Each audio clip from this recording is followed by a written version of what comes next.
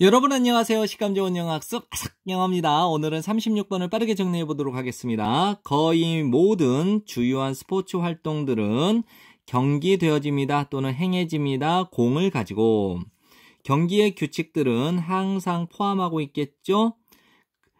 허용되어지는 공의 유형에 대한 규칙을 포함하고 있대요. 뭐뭐로부터 시작해서 크기와 무게, 그 공의 크기와 무게로부터 시작해서 허용되는 공의 유형에 대한 규칙을 포함하고 있대요. 이 말이 도대체 무슨 말이냐?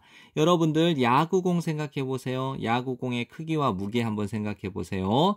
골프공의 크기와 무게 한번 생각해 보세요. 탁구공의 크기와 무게, 축구공의 크기와 무게, 농구공의 크기와 무게로 생각해 보세요.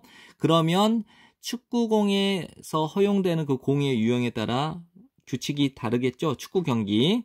다음에 허용되는 그 공이 탁구공이면 역시 규칙이 또 달라지겠죠. 그에 맞게. 됐나요? 골프 어, 허용되어지는 그 공이 골프공이라고 생각을 해보세요. 그럼 역시 규칙이 그 게임의 규칙이 그 공의 유형에 맞게 규칙을 포함하고 있겠죠?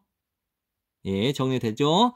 그러면 공은 또한 가지고 있어야만 해요. 특정한 단단함을 가지고 있어야 돼요. 공이 가지고 있을 수 있습니다. 적절한 크기와 무게를 가지고 있을 수 있습니다. 하지만 만일 그 공이 만들어졌다면 텅 빈 강철로 된 공으로 만들어지게 되었다면 그 공은 너무 딱딱하겠죠.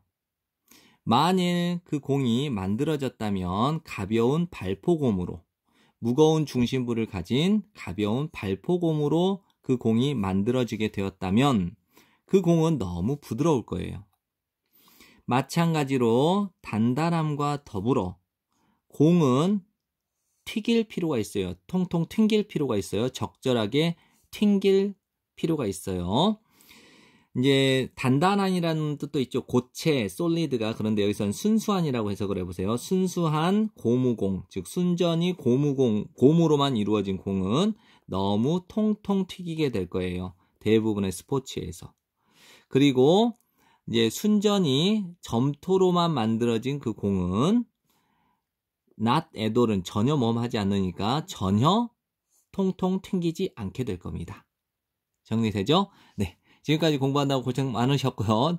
어, 열심히, 열심히 복습하시고 좋은 성적 받으세요. 감사합니다.